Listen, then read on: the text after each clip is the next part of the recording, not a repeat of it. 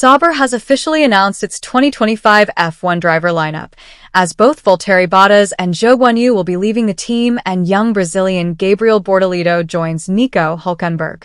The driver lineup for the Swiss-based team has been a bone of contention for a while now, as there has been a lack of clarity when it came to the direction that the team was going to take. When it came to drivers, the team has been talking to quite a few, and a lot of them have been linked with this project.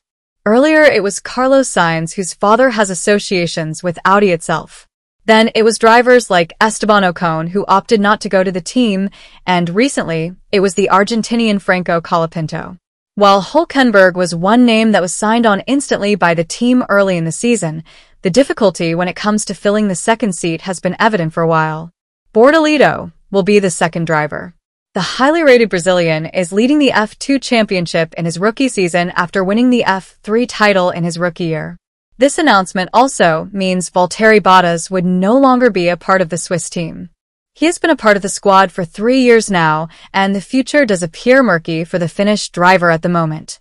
In the media debrief, talking about his departure from the team and being replaced by Gabriel Bortoleto, Bottas said the team that would be rebranded as Audi is in the doldrums right now, uh, since the announcement was made that the German giant was going to take over, it has taken quite a few steps backward. Team boss Mattia Binotto also welcomed Gabriel Bortoleto to the team. The young Brazilian has been a McLaren Academy driver and joined the brand last season.